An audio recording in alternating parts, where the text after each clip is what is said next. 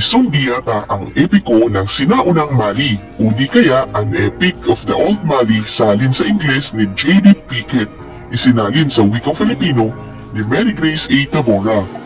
Si Maghan Sundiata na tinatawag ding Marichaita ay anak ni Haring Magan Konfata ng Mali sa kanyang ikalawang asawa, si Sugolon Kadju.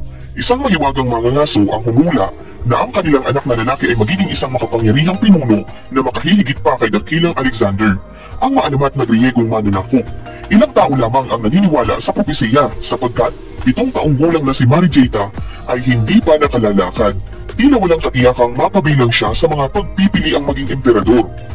Namatay si Haring Maghan Konfata kaya't hinirang ng kanyang unang asawang si Sasuma Bereti ang sariling anak na si Dankaran Tuma na tagapagmana ng trono ng ama. Madalas silang naninibugo kay Marijeta at sa kanyang ina kaya't ipinatapon niya ang mag-anak sa likod ng palasyo. Napilitan ang mga ito mamuhay na isang kahi, isang tuka. Nabuhay si Sugulon Kidjo, sampu ng kanyang mga anak sa tira ng inang reyna. Pinagyayaman niya ang maliit na halamanan sa likuran ng nayon.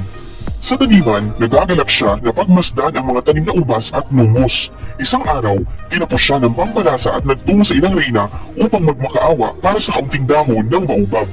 Tingnan mo ang iyong sarili, wika ng mapanghamak na si Sasoma. Ang aking kalabash ay puno. Tulungan mo ang iyong sarili, maralit ang babae.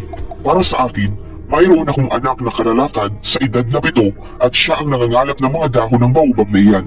Maaari mong kunin ang mga iyan sapagkat ang iyong anak ay hindi nakalalamang sa aking anak. Siya ay nanunod yung humalakhak ng matinis na pumupunit sa laman at tumatago sa kaibuturan.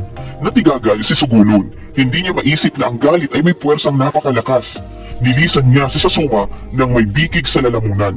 Sa labas ng kanilang kubo, Si Marie de Jeta ay nakaupo sa kanyang walang silbing mga binti at walang pakialam na sumusubot tangan-tangan ang kalabash. Hindi napigilan ni Sugulon ang kanyang sarili. Siya'y napahigbi at dumampot ng kaputol na kahoy.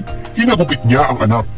O anak ng kasawiang palad, hindi ka ba makalalakad? Dahil sa iyong pagkukulang, ako'y nakararanas ng matinding pangdudusta sa aking buhay.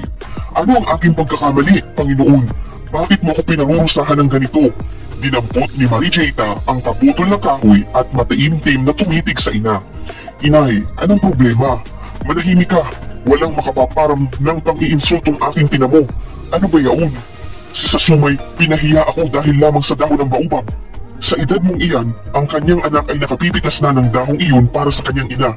Huminahon ka ina, kalimutan mo na iyon. Hindi, ito'y sobra na. Hindi maaari. Mahusay kung gayon. Ako'y maglalakad sa araw na ito, sabi ni Marie Jeta.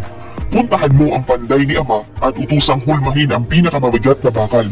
Inay, dahon lamang ba ng maubab ang iyong kailangan o nais mong dalhin ko sa iyo ang buong puno?